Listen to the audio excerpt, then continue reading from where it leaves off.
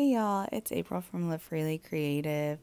I'm excited to show y'all February's layout. So, decided to get back to my roots of just painting, and so I added a little water to the paint to make it like this faux watercolor painting, I guess you could say, and just express it. And I usually before I do bullet, I can't talk today barely, bullet journal um, layouts. I get a lot of inspo from Pinterest, and today I just kind of did what I wanted to do, and it was nice. It was nice to do that.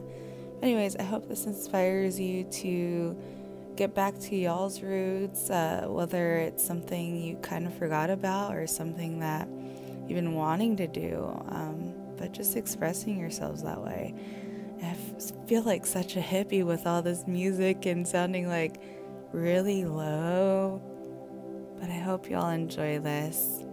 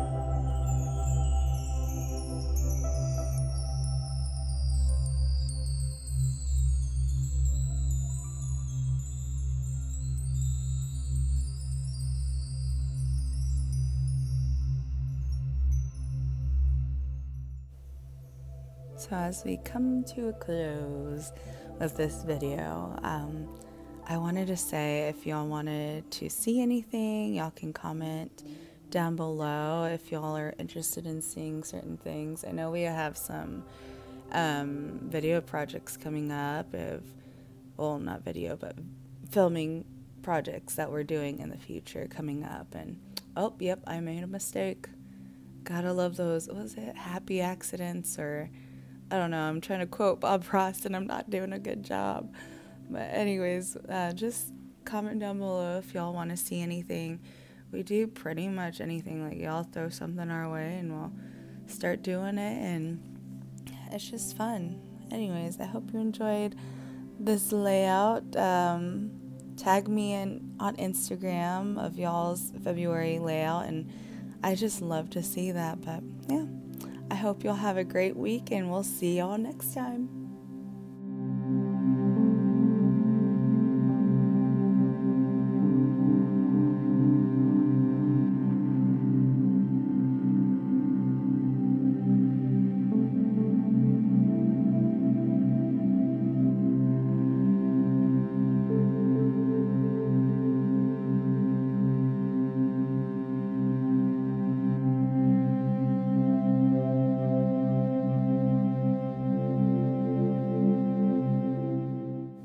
Forgot to comment that I actually made a mistake and I did too many weeks, so I rolled with it, put goals and to do lists, and it works.